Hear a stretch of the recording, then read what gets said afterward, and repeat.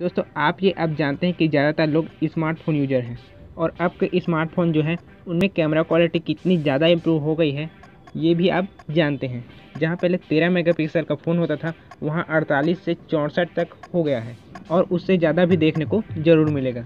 पर क्या आप ये जानते हैं कि हमारे जो आँख है, वो कितने मेगापिक्सल की है?